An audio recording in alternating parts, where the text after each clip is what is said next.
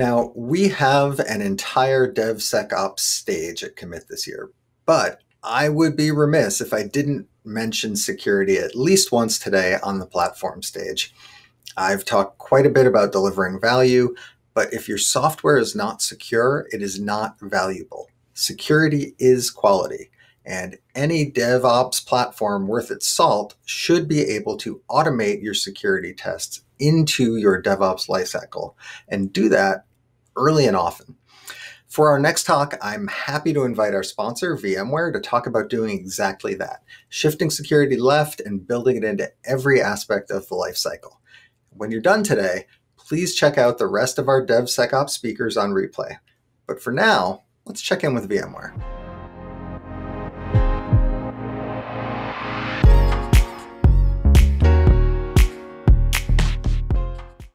Well, hello and welcome to our session, Embracing DevSecOps for Modern Application. My name is Henri van den Bulk. I'm one of the executive technical advisors in the Tanzu Valley Advisory Team. And with me, I have Andres Vega.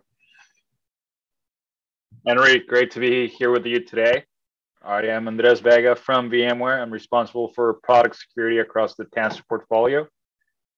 Outside of my work, I'm also a technical leader for the CNCF Technical Advisory Group for Security love to take the conversation offline. Great place to find us both is on Twitter. You see our Twitter handles on the screen. Uh, feel free to question away any any thought or feedback that this presentation elicits. Absolutely, we love the love the engagement and reach out on the social media. So, as the goal of DevOps and modern application is really to have rapid release cycles to deliver cap- capabilities security and compliance can often pose a slowdown or create toll inside of an organization to achieving this. In this session, we're both very passionate about secure supply chains and DevSecOps.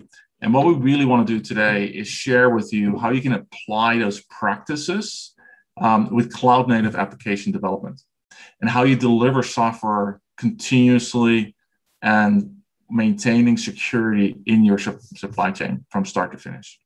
So thanks for joining us. Why don't we just dive straight straight in? So according to the 2020 state of software supply chain, we're seeing an incredible increase of the use of open source software. Third-party libraries are used more and more. Now, this increase um, has been driven by universal desire for faster innovation. More and more, we've seen this over the last year during the pandemic as well, a massive increase. However, the other thing that we have seen, according to this report as well, is that 21% of enterprises experiences open source software breaches. That's a 430% year over year growth in cyber attacks or open source software. Now, low performing organizations um, really are slowing down their innovation because they're trying to introduce manual processes, compensating processes to deal with the security risk and they don't really have a good way or a means for stopping updates or making updates in a conducive way.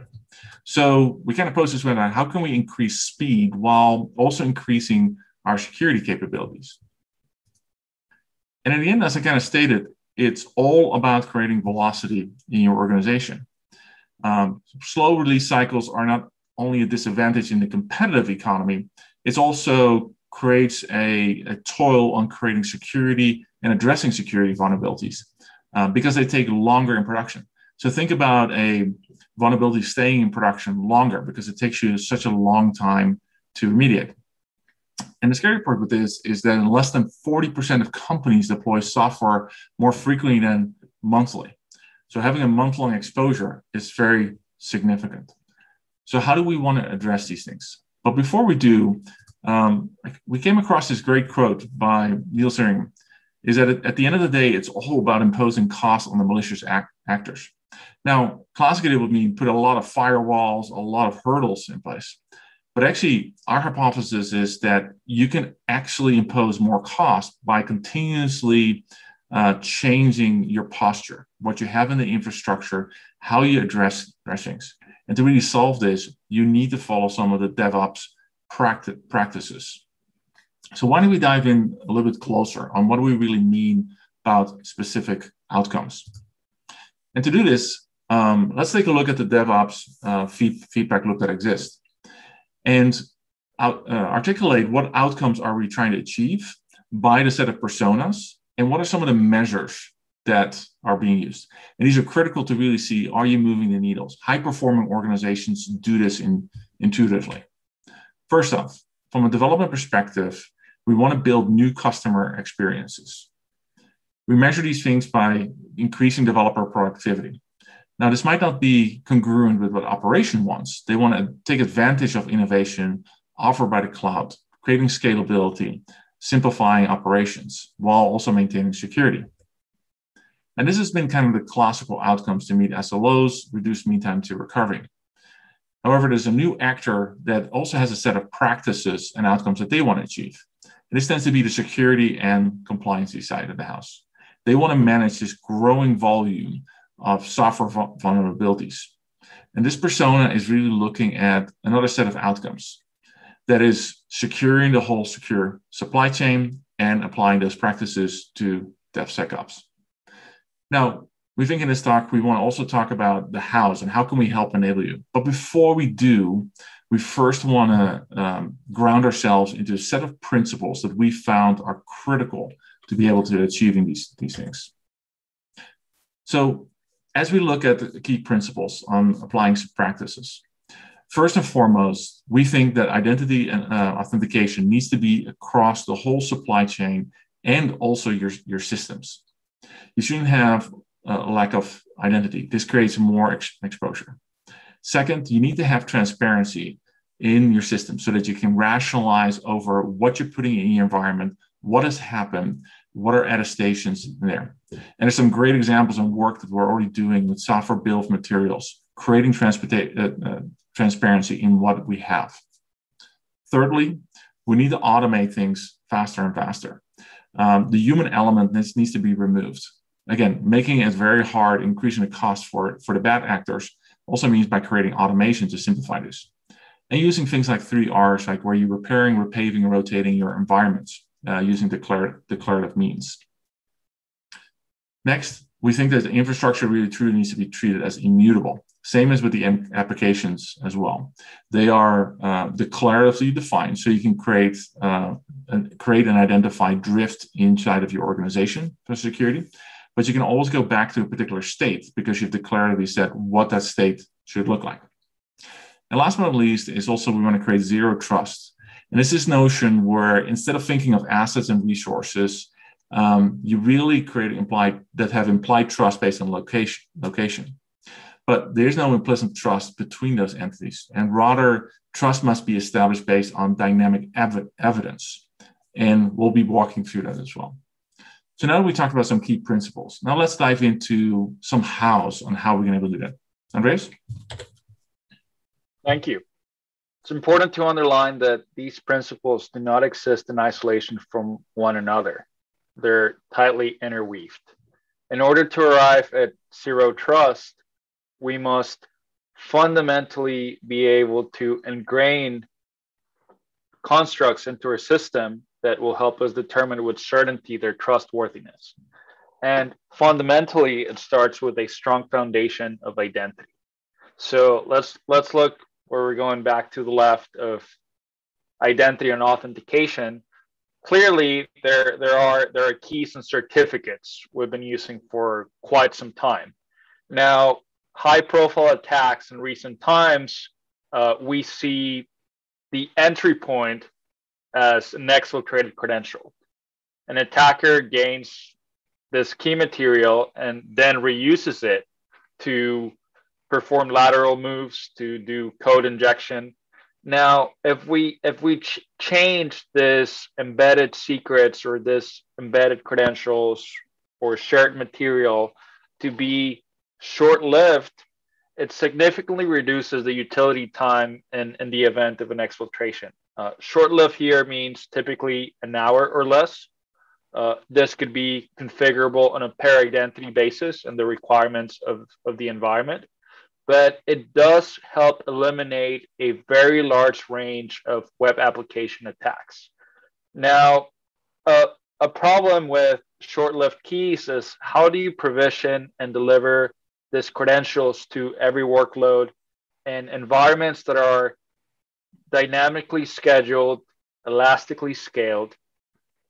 How do you do that across technology boundaries and cloud p- platforms and machines that are come and go and scaled up and down? So, starting off the premise that if, if, if we're reasoning a multi cloud or hybrid cloud environment, and we have a complex distributed system that spans some, some of these boundaries, for any two components to trust each other, they must be able to confirm each other's identity and that ensure that the messages exchanged in between them haven't been tampered with. A great example of an implementation that codifies this key attributes we see on the screen of being well short-lived credentials make it platform agnostic give it to any workload regardless of its form factor that this uh, key material has been uh, cryptographically signed and can be cryptographically verified that it's programmatic and that it gets us over the hurdle of well i have i have an api key or I have a certificate. But in order to protect the certificate, I must encrypt it. And now I have a decryption key. I should store this decryption key elsewhere securely. How do I do that? I encrypt it again, and it's it's turtles all the way down. So we must move from the paradigm of proof of possession onto recognition technology, what would be analogous to a fingerprint or a retina scan. And with that, software credential zero wherever a workload pops up.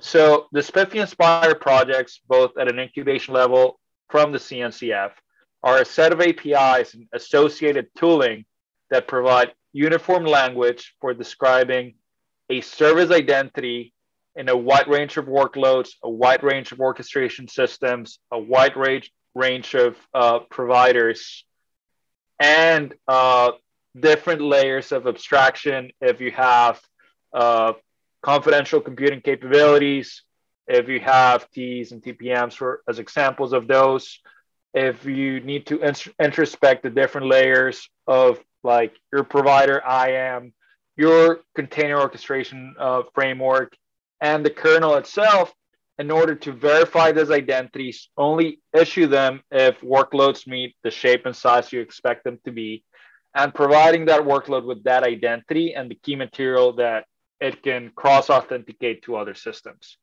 Now, this this is done at, at multiple layers. Uh, I'd encourage you, and we'll have references at, at the end of the presentation of uh, there's attestations uh, within the ontology of, of the projects for doing verification of the infrastructure a workload runs, ensure that it's trustworthy. It's not rogue. It is infrastructure that does belong to you, and it hasn't been tampered with, as well that as the workload, uh, as be it a container or a function. Uh, so there's two layers, like node as well as a process level introspection. Now this is fairly general purpose. Uh, once we have this in place, uh, it solves beyond. Well, we talk about that credential zero so you're not only cross authenticating between workloads, you can authenticate from a workload to a secret store, you can authenticate from a workload to a database without using any username or password, but doing direct uh, authentication using uh, the certificate. The framework suppo- supports both JWTs uh, as well as X509s. It can do secretless authentication to your cloud provider. So if you're talking to AWS, to RDS or a Lambda function, you can use your SPIFFE identity to receive, uh, to have an IAM binding and receive and exchange a uh, STS token that you can talk to any, any third party service uh, outside of the infrastructure identified. And you can have uh, trust boundaries and, and trust domains uh, modeled accordingly to that. So that's enough of SPIFFE and SPIRE. Uh, hope that piqued your attention, but let's look at uh, the next level up, how we start to model once we have that strong bedrock of identity. Uh, it lets us start to reason holistically around privilege and performing least privilege, which is for every function in the system or every user in the system that initiates a task as well as the task in itself should operate with the least amount of privilege necessary to complete the job. So supply chains are, are complex. Software factories are complex. Uh, more cloud adoption means uh, proliferation of cloud native solutions. Uh, more cloud native solutions means uh, more moving parts in producing software and more moving parts uh, and tooling and picks and shovels. So we, we can agree that supply chains can be overly com- complex, but it can help as engineers to break it down in discernible parts and uh, implement defense in depth that's commensurate with an organization's level of risk and assurance. So at every at every stage of a logical pipeline or a logical supply chain extending a little bit further, there there are some key things to to think about. So we got to think about securing the source code. Uh, know who's in your Git repo, enforce MFA, sign your commits. Next up, you want to look at securing the dependencies. You want to scan the dependencies, generate uh, software builds of materials that can be ferried along the artifacts. You want to harden and secure the pipeline itself.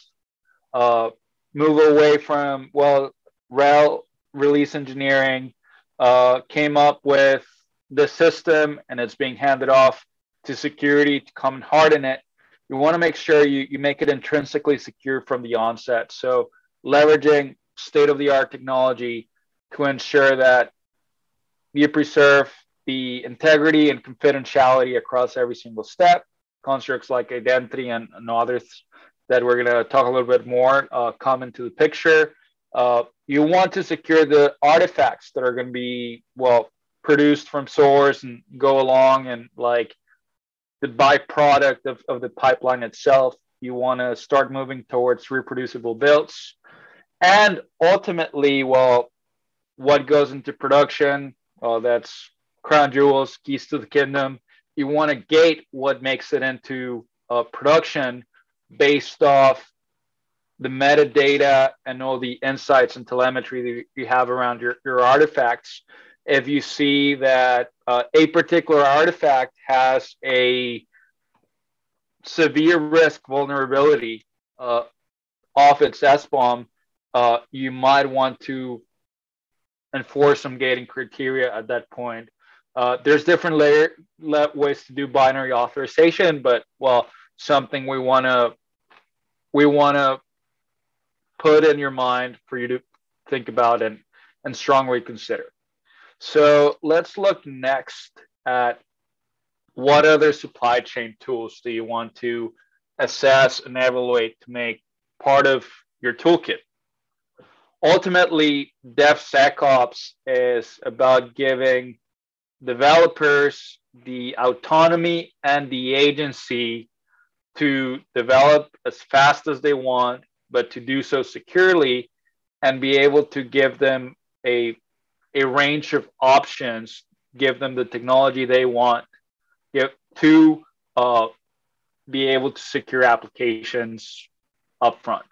So there's several screenshots with, within this picture, things we have on, on the left side of, of the slide. Uh, we showcase uh, a screenshot of the Harbor repository. We have uh, VMware's Carbon Cloud Black, uh, which leverages a considerable amount of open source. There's some other great tooling like uh, Google's, uh, not pictured here, open source vulnerability database, osv.dev.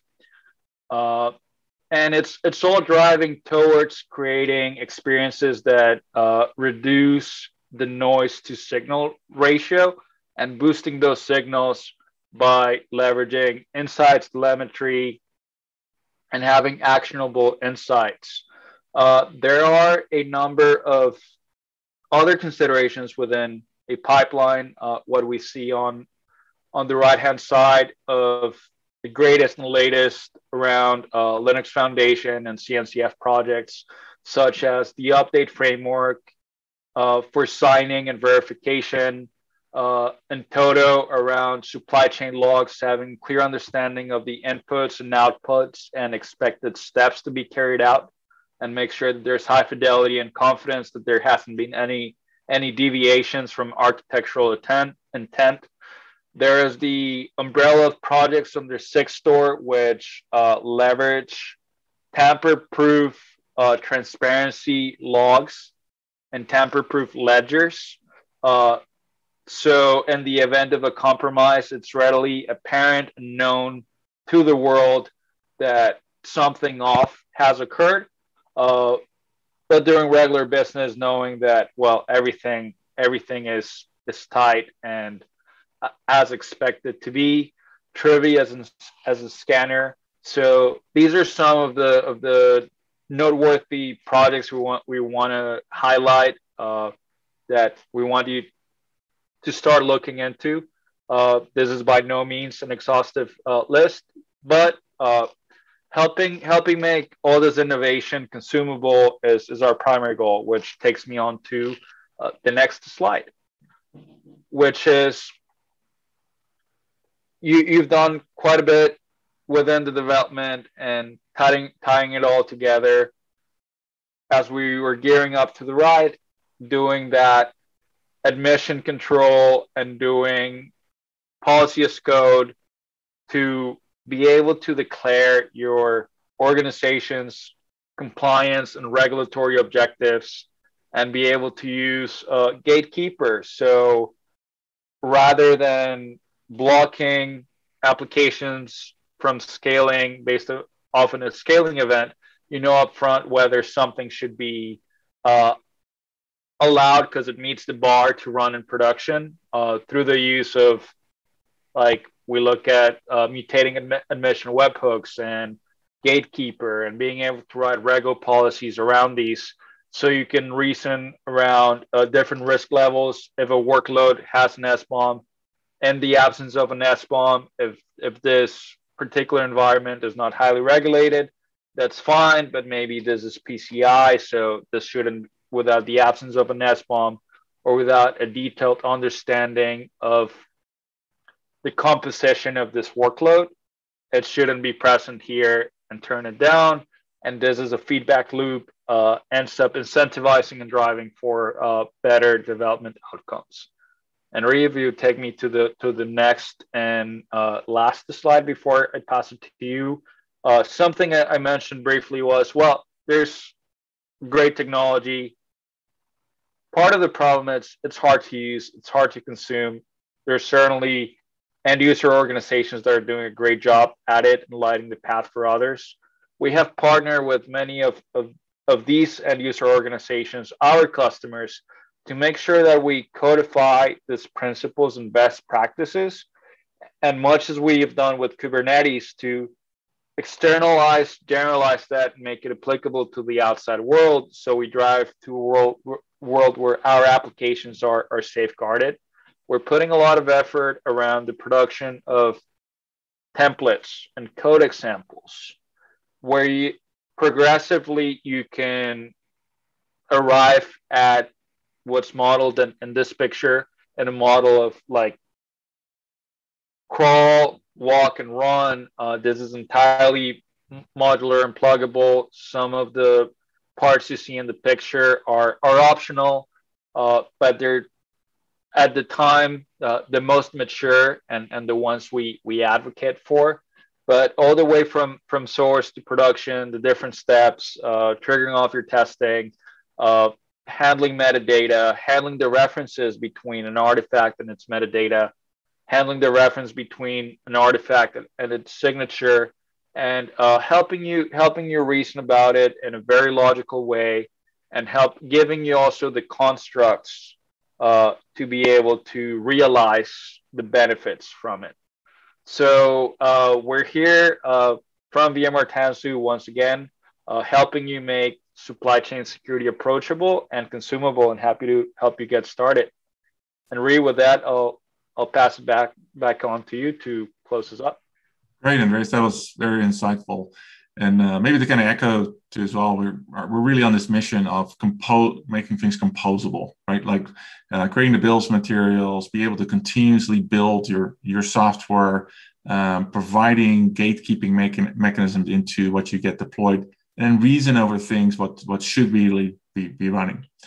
So we're also very excited that the, uh, in the Tanzu portfolio and, and with our partnership with, with GitLab as well, you can actually uh, come check things out on our, our website as well. We provided some some key links on some of the individual projects. Uh, a lot of the, our projects are actually open source available as well for you to start experimenting with and really creating that thread of uh, building a secure supply chain. With that, um, I wanted to thank everybody for uh, attending this session. We're looking forward to the engagement after after the session and uh, reach out to us. So with that, thank you so much and have a wonderful conference.